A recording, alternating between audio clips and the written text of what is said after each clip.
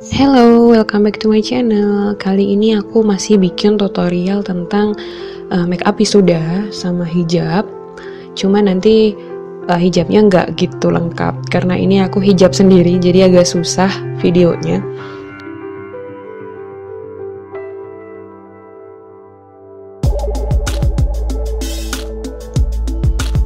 Oke, ini jadi aku buru-buru banget. Ini kondisi kulitku sekarang masih ada bekas jerawat. Sebelumnya aku pakai moisturizer dari Agnes dulu ya. Terus ini aku timpa pakai concealer dari City Color yang warna hijau. Aplikasiin pakai brush. Tutup semua bekas jerawat yang kira-kira nanti nggak bakal tercover kalau cuma pakai foundation aja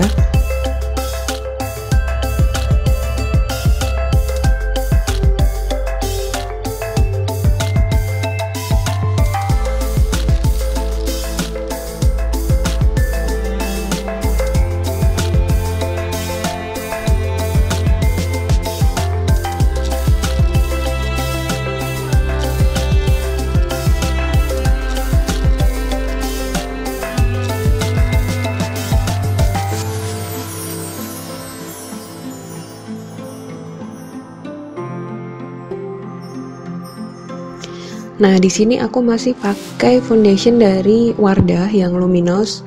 Ini nanti untuk produknya aku taruh di description box. Ini aku tap-tap pakai jari dulu ke seluruh muka sampai rata.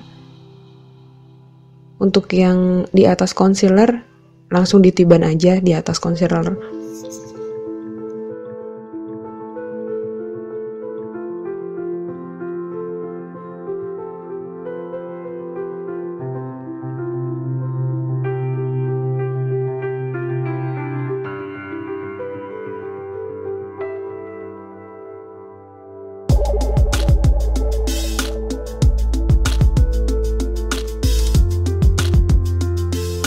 Nah, ini kita blend pakai uh, sponge, sponge basah. Ditap-tap seperti biasa, diratain sampai bener-bener rata.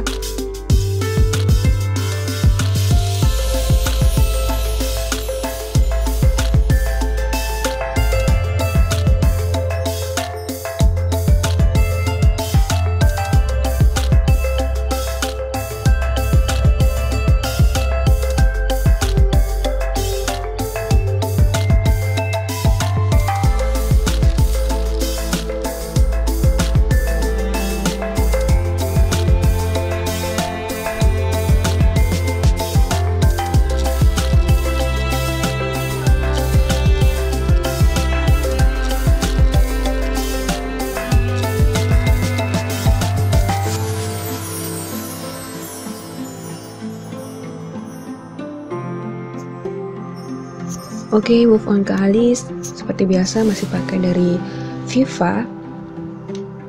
Oh ya, kalau misalnya kalian beli uh, pensil alis Viva online secara online, uh, kalian hati-hati karena banyak banget uh, pensil alis Viva itu yang uh, dipalsukan alias KW. Jadi aku udah pernah uh, coba yang KW itu nggak enak banget, agak susah untuk diaplikasikan. Uh, terus uh, di pensilnya itu kayak bukan kayu. Jadi dia tuh kayak agak kayak plastik gitu. Kalian kalau misalnya pernah beli uh, lip liner atau mungkin uh, lipstick yang bentuknya pensil tuh kalian bisa ngerti itu kayak agak uh, lebih ke plastik menurutku bukan kayu. Kalau dari Viva asli ini dia bentuknya tuh kayu.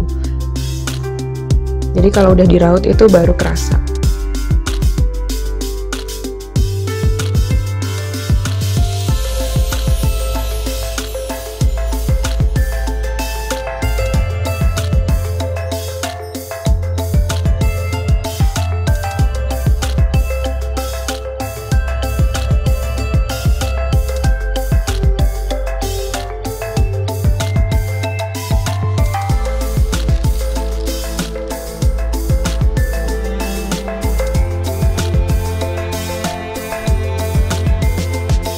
jangan lupa disikat bagian depan. Ini aku pakai spoolie brush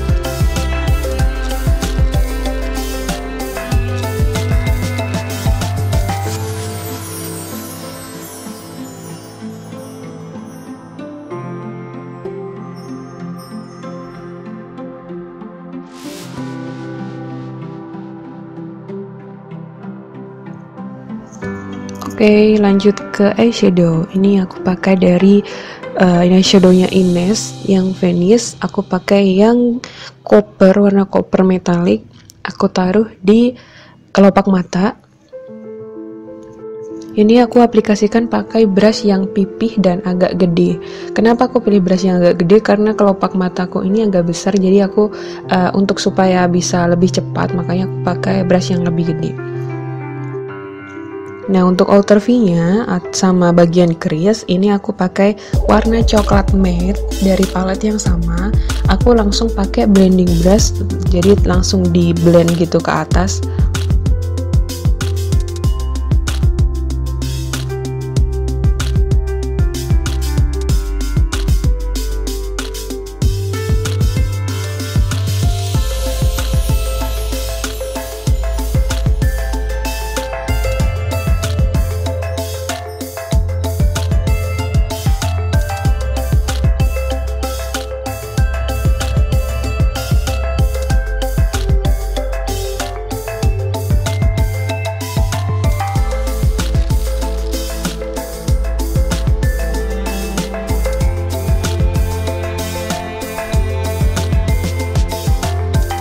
Bagian inner corner ini aku pakai warna yang paling terang. Aku aplikasikan pakai brush bawaan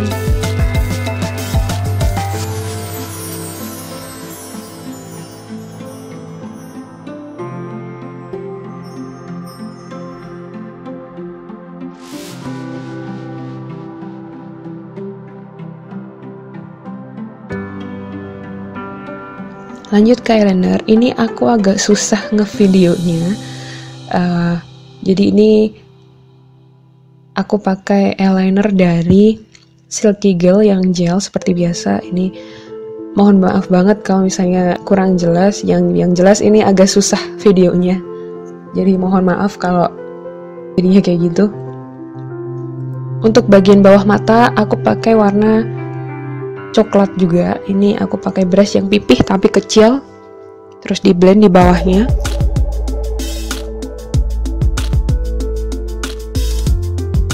Nah untuk bagian inner corner bagian bawah atau waterline ini aku pakai NY8 yang jumbo milk eye pencil. Uh, bagiannya cuma dikit aja dikasih itu. Nah untuk ngeset foundation ini aku pakai bedak dari Wardah. Nanti untuk uh, selengkapnya bisa dicek di description box. Ini aku pakai spons bawaan dari bedaknya itu.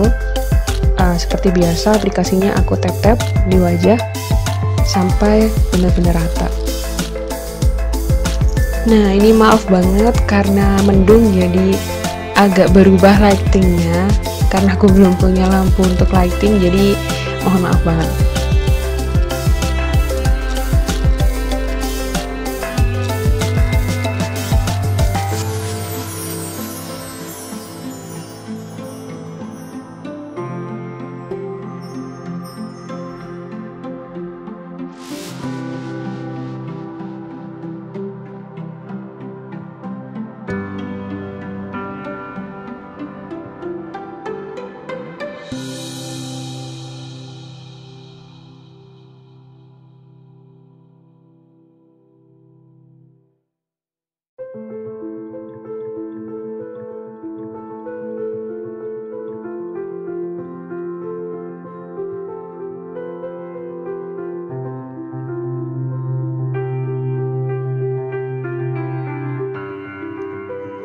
Oke okay, lanjut ke blush on. Ini aku pakai seperti biasa eyeshadow single dari makeover yang warna orange. Aku campur sama yang warna pink.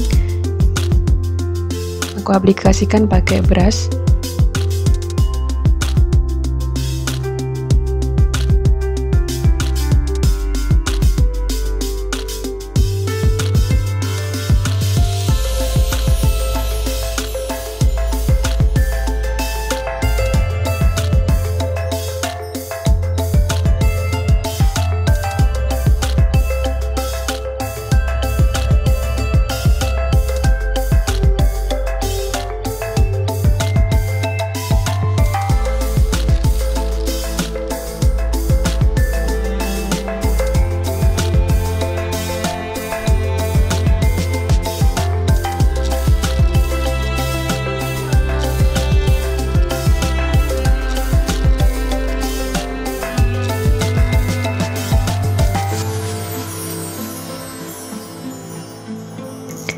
Untuk shading hidung seperti biasa juga aku masih pakai palet dari Ines.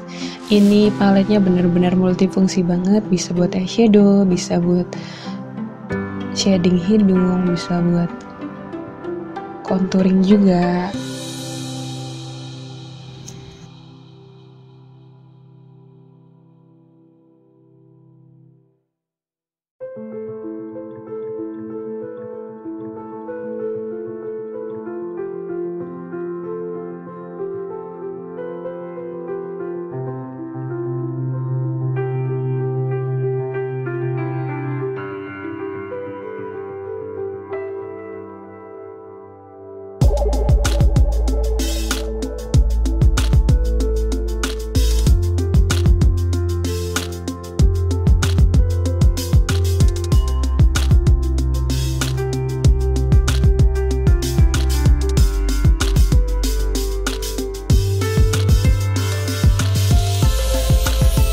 Bulu mata aku pakai dari Ratu Bulu Mata dalamnya masih sama pakai Mesmor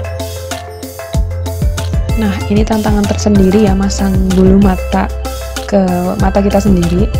Jadi ini agak susah. Jadi enakan masangin bulu mata ke mata orang ternyata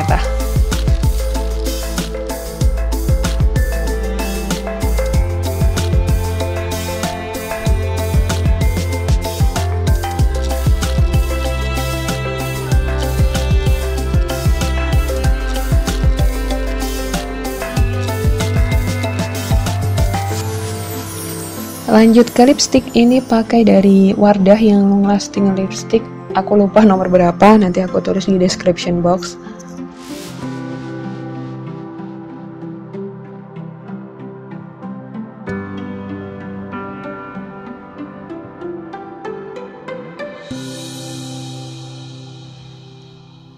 Nah ini tutorial singkat banget uh, cara hijab aku di foto kemarin jadi kalau misalnya kurang jelas mohon maaf banget karena sekali lagi ini aku pakai hijab sendiri jadi agak susah uh, untuk video terus uh, record bagian belakang juga agak susah karena aku juga video sendiri.